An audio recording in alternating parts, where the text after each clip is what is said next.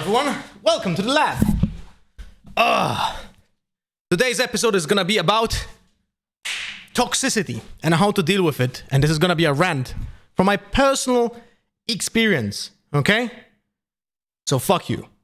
Anyway, toxicity in games, it's a big problem. And it's gonna be a bigger problem if we're not gonna handle it. And I feel like a lot of people don't know how to handle the toxicity that they encounter in games. But before we go that, a small hashtag sellout. Thank you, Elgato, for the stream deck and other hardware that I'm using, like the green screen in the back. So the thing is, dude, I redid the intro like four times. I'm old. Give me a second. Ah, all right. So the thing is with the toxicity is that you have to tackle it at the first moment. From my pers- personal experience, if someone is in your game and is passive aggressive, is being making really weird remarks, uh, yelling like in your mic, or uh, my favorite when someone dies and goes, "Oh God," mm. those type of communications, they only will tilt you, and they will never get better. Those people have really bad habits on how to behave in social situations in games. So typically, the best way of dealing with players like that is the one strike policy that I use. If someone is toxic, is clogging the comms, is being passive aggressive, sighing and, and, and oh godding into the mic, you just mute. You just mute them so they will never tilt you. Giving those people a second chance in 95% of the like situations is not important because it never did like they never get better. If someone is that type of player he will never get better in the first place. But also when someone has a toxic comment that's typically a pattern. Those people those people will have this kind of behavior every single time. Someone is sexist homophobic racist. You mute and you report. And now that is a very important thing. When it comes to reporting there's actually something that people don't know. And I think it helps Riot a lot. When you go into the game, right? When you go into the game, you go to the to the scoreboard and you want to report someone. I, I, am gonna click on reporting to someone on, on, a player here. So please, he wasn't toxic. I'm gonna go gonna go for Hans, my duo. So you click report, and you now have to like explain what what happened, right? If someone is yelling like some obscenities into my mic, I'm just gonna go comms abuse voice, sabotaging the team, and disrespectful behavior. And I'm gonna do a report like this. Round 7.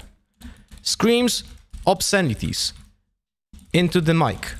Right? You try to be as precise as possible when it comes to reporting this because player support from Riot that will look at those reports will lose less time and be more effective into taking account of those reports because they will be explicitly told what to look for, right? So it's very simple also when someone just wrote in chat because the logs are being like, you know, just kept in. So just report that what you hear, say which round, what happened, because then the player support uh, personnel that looks at this uh, exact scenario will know what to look for. And if they see that Hans in round seven screamed obscenities into the mic, and they see, oh yeah, right. Well, this guy is right. Okay, we're banning him or suspending or whatever, right? And they go for the next job, so they don't have to spend 20 minutes on this one player to look for the voice comms that he was toxic in, right? So that's a big difference.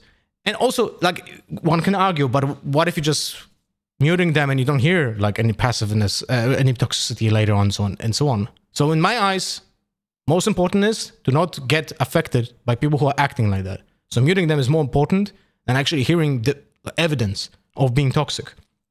So um, I think in many cases you can just report after one thing because uh, people are just obnoxious in this game and it's a big problem. And i hope it's a community's problem. It's not riot's problem. This is players behavior.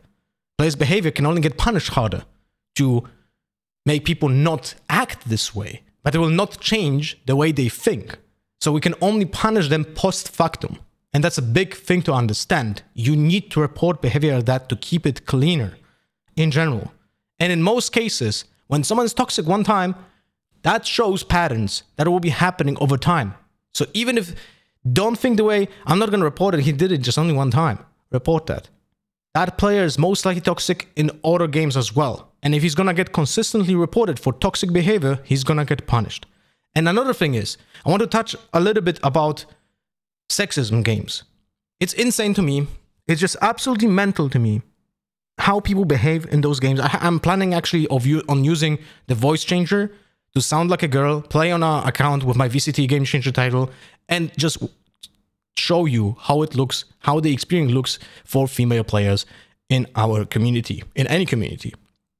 It's obnoxious, it's it's disgraceful, and I urge every single player that is a witness of that kind of behavior, please act. Okay? You have a girl playing with you that is being an object of sexist comments. Please defend her. Please say something that is just just tell off that player who is sexist. Mute them and tell off. And that is another advice that I give to every single woman, girl that is playing this game.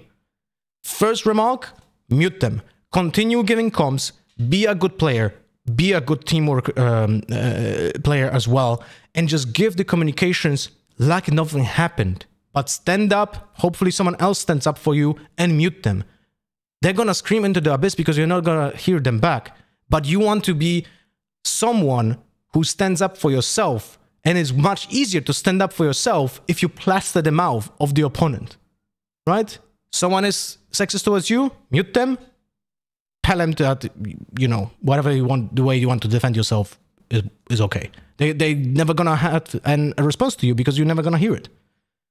So, yeah, but I think it's very important for us, for us as a community, to not promote toxic, tox, toxic behavior in chat.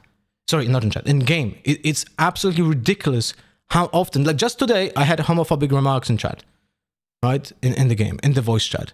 Um, yeah, two days ago, on Friday, three days ago, uh, we had everything, literally everything racism, homophobia, um, toxic anger, like everything in every single uh, game, and it's atrocious.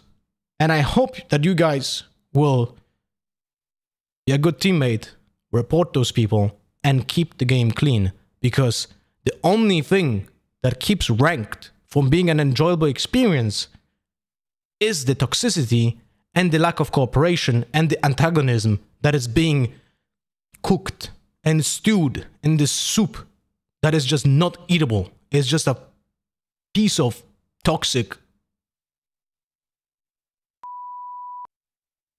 You know? So yeah, uh, that's about it. Hopefully, we're gonna take matters in our own hands, help Riot get rid of the bad apples, and that's about it. Thank you for watching. See you guys in the next episode of Lothar's Lab.